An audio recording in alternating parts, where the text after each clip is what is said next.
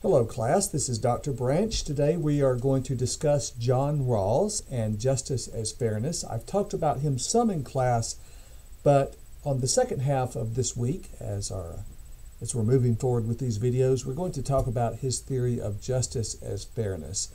I will not touch on every slide in the slide deck, but I will have this slide deck and the notes posted on the class webpage.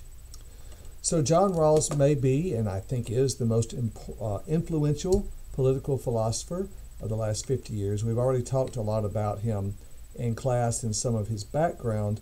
What I want to point out, I would like to point out, is the degree to which his military service in the South Pacific during World War II moved him away from Christian theism to a form of atheism. And at one point, he had a professor, uh, excuse me, a chaplain that gave him some horrible advice that really pushed him over the edge. So we should always be careful about what we tell people and the pastoral advice we give them when they are in a, a moment of crisis. His most famous book is A Theory of Justice. That would probably be a fill in the blank or something like that on the final exam. It's a book title you should know. It's been very influential and it has shaped the way a great many people think about the social responsibility of political and social policies. So, some background to his work.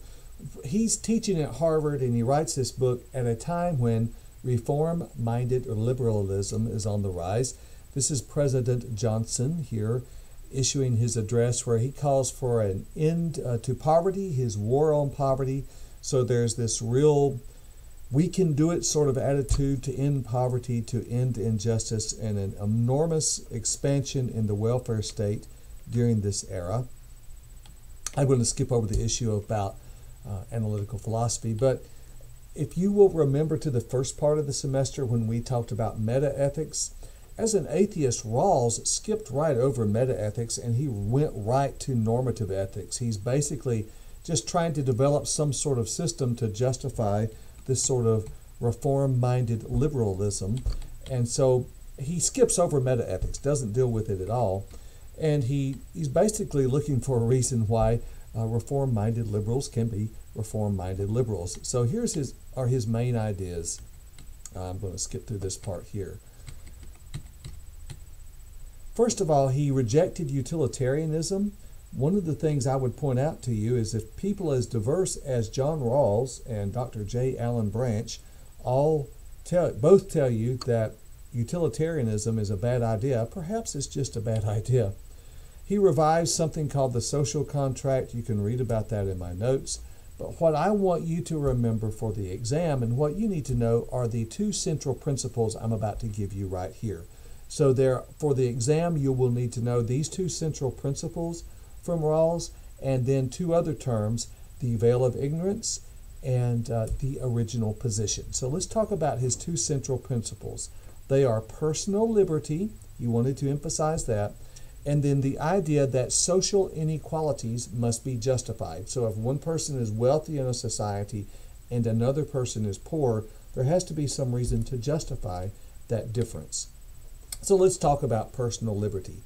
Here's what he said To the extent that it does not impinge on the rights of others, one should have personal liberty, or to state it differently, each person should be permitted the maximum amount of basic liberty compatible with a similar measure of liberty for others. So he is not a libertarian in the way that we would use that word in American politics today. And the qualifying phrase here that it is compatible with a similar measure of liberty for others. He's setting you up for his veil of ignorance experiment. So you have as much liberty as you can exercise without impinging on others. And the way he defines impinging goes back to justifying inequalities. If you've got the liberty to become very wealthy, there must be some reason to justify your wealth. If not, we've gotten to even things out which leads to the second point that social inequalities must be justified. Rawls said that any social and economic inequalities allowed to exist must be such that they are A, reasonably expected to be everyone's at, to everyone's advantage, and B, attached to positions and offices open to all. Let's talk about both parts of that And on the final exam, you want to tell me both parts of this social inequalities. You see that there? There's two parts. Let's talk about this part. The social inequality must be reasonably expected to be every to everyone's advantage. To everyone's advantage. So what he means is this: if let's suppose someone is fabulously wealthy, uh, worth billions of dollars, and the rest of the folks aren't, of course, then Rawls would say there has to be some reason why that person's wealth is justified. Why do they have billions of dollars and why do they have uh, fabulous wealth beyond our imagination? Is there some reason that that can be justified?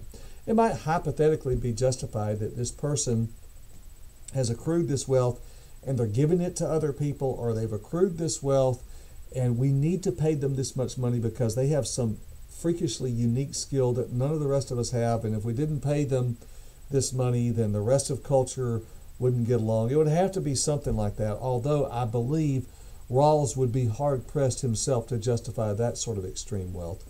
Think on a more practical level, what he might say is something like this Well, okay, we're, we are paying, let's say, for example, a heart surgeon or a brain surgeon, he or she is getting paid several hundred thousand dollars a year uh, in salary.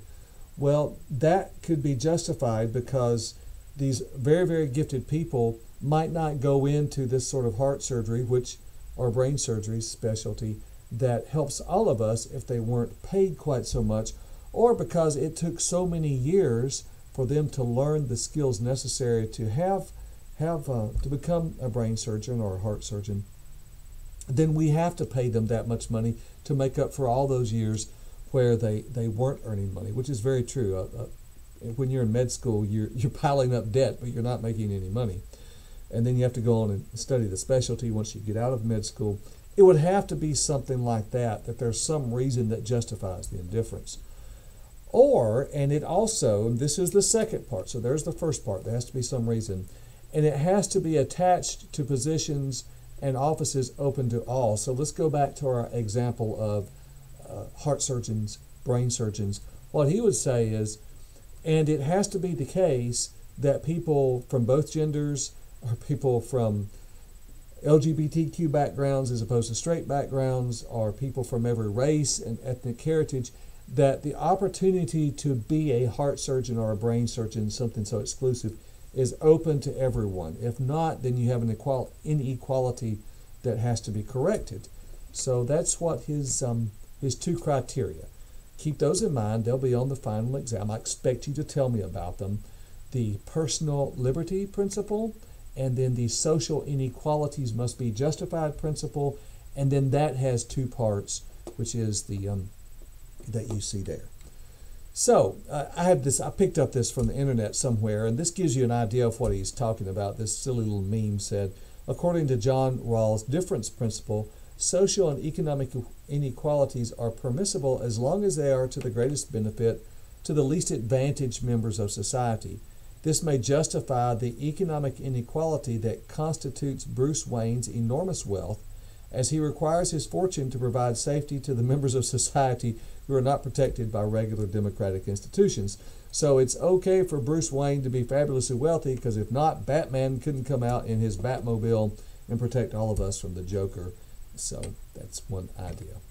So Rawls' definition of justice, uh, he says this is the capacity to understand, to apply, and to act from the public conception of justice which characterizes the fair terms of cooperation. Circle that term fair.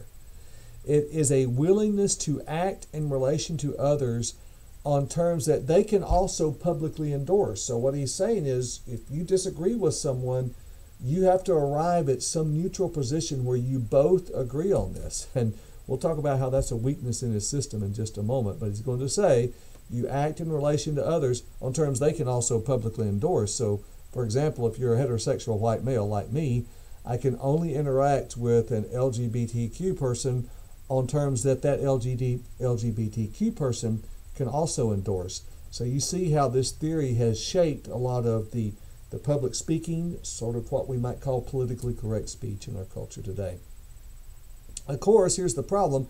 I don't know what to do if the other person's terms are quite selfish. So that presents a major problem to his theory. And this also points to his notion of reasonable citizens. This is a term that pops up all the time, and it's a bit mysterious. Who are these reasonable citizens? What do we do with them? I think he means reasonable citizens are anyone other than Southern Baptists, but uh, he has a definition there that you can read. You need to understand his definition of reasonable citizens sets the parameter for who gets to make some decisions about what is actually a fair and just society, which leads to the original position and the veil of ignorance. You're going to need to know these two terms on the final exam. He presents us with a thought experiment. You saw it on the short video that led to the class discussion. And the thought experiment is imagine you're standing behind a hypothetical veil of ignorance. This is you over here. So these androgynous creatures representing you don't know what sex you are, you don't know if you're male or female. You don't know if you are uh, what your ethnic heritage is white, black, Hispanic, Asian, African. You just don't know. You, you don't know anything about your psychology. You don't know anything about the background in which you were raised. You know nothing about yourself other than you are some sort of a more uh, just vague sense of being human. Now, if you didn't know anything about yourself, what sort of rules would you set up for society to operate by? That's his question. And what he's saying is if you didn't know anything about yourself, then we would set up rules far different from what society is today. So right now, let's get rid of, if, imagine this is no longer the veil of ignorance, it's not here, and this is just, for example, James Alan Branch staring at culture as a white conservative Baptist seminary professor male, and I'm setting up rules for culture. He says, if I operate from that position, I'm going to set up rules for culture that benefit me. Tax breaks, um, I don't know, some sort of laws about how people treat me and and the language that's used or the way we interact on a day-to-day basis. He says I'm going to set up rules to to benefit myself. But if I didn't know, if I had no idea what I was going to be, then I would look at things very, very differently and I would try to level the playing field so that everything would be uh, equal for everyone. So the veil of ignorance is this hypothetical barrier we are standing behind, and we don't know what what we would be like on the other side, and we're trying to establish rules for a culture on the other side of the veil of ignorance. We didn't know what we were going to be like. And the original position is this hypothetical thought experiment where we don't know our sex, our our ethnic heritage, our financial standing, or anything. If we divorce ourselves from all those conceptions, how would we want society to look? And he is convinced that it would be a more fair set of rules that we would come up with.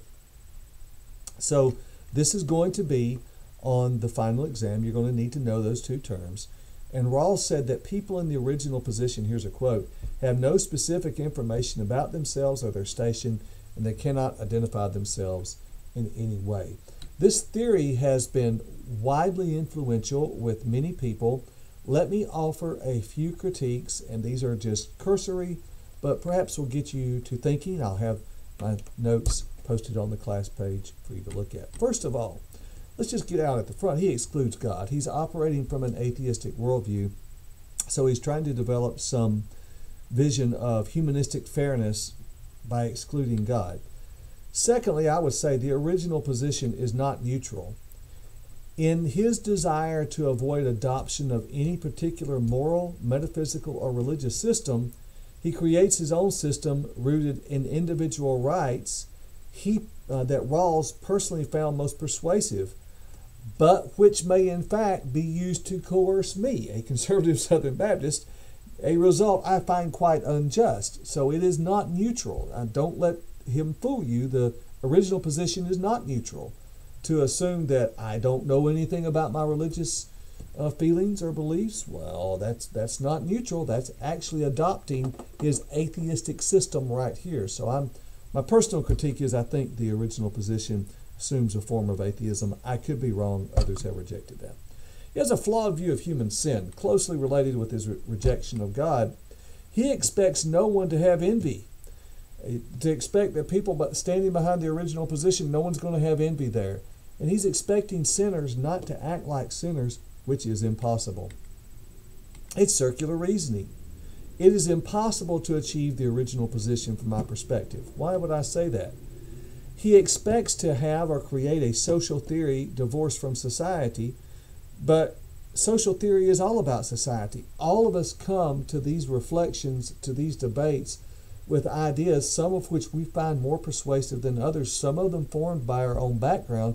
A better, a better perspective, perspective is to evaluate our background, evaluate the ideas we are to which we hold, and find out which of them are consistent with God's Word, which of them uh, are consistent with loving our fellow man and with forming a good government, with a more just society. I don't know about, uh, I don't know if we'll ever achieve perfect justice. I don't think we will, barring the return of Christ, but we can achieve a more just society.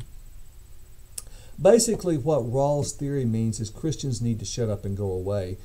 And this is, when he talks about the reasonable person, he's basically saying conservative evangelicals are not being reasonable to give you one snapshot of that sort of thinking, let me give you this. This is he, he doesn't like the family, and in fact, he says the family, because of its positions of power with a mother and a father and kids having to obey mom and dad, he says this actually sort of destroys the idea of social equality. And at one point in a theory of justice, he actually he reflects on the problem that the family poses for his theory, and he says this. This is a chilling statement. Is the family to be abolished then? Taken by itself and given a certain primacy, the idea of equal opportunity inclines in this direction. That, my friends, sounds much like Karl Marx and Friedrich Engels. Which leads to my next point. It's basically a form of socialism. What he's actually advocating here is not so much a, a veil of ignorance in an original position. What he's pushing for is a socialist uh, economic theory. And he also in light of this, this is a common problem that uh, many Christians have brought up is he neglects to consider how personal choice affects our status. I realize that there are inequalities in the world, and sometimes we're born into situations we did not cause, uh, which provide us with many difficulties and obstacles. There are also obstacles in life that we place in front of ourselves by our own poor decision making, and Rawls neglects to emphasize that. So all of us are morally accountable for the choices we make.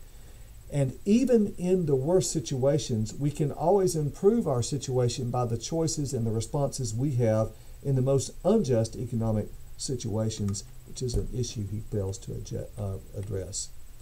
John Rawls, Justice as Fairness, that's a brief overview and a brief response. And so you'll need to know about him for the final exam. I hope this has been helpful for you.